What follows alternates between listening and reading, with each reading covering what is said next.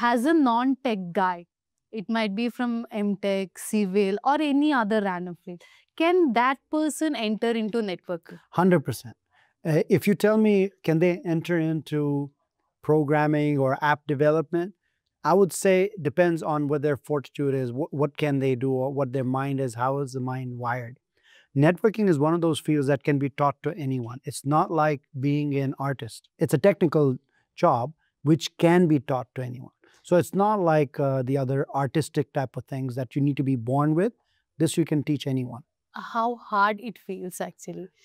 It's not. It really is not. The thing that you need to understand about that is you need to break down a big task, whatever it is, into smaller chunks and attack the smaller chunks.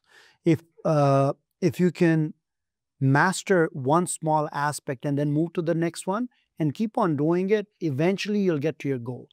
Oh. But if you look at the whole thing as a big mountain, you will never be able to climb it. So again, one step at a time, one task at a time, one technology at a time. That's how you do it.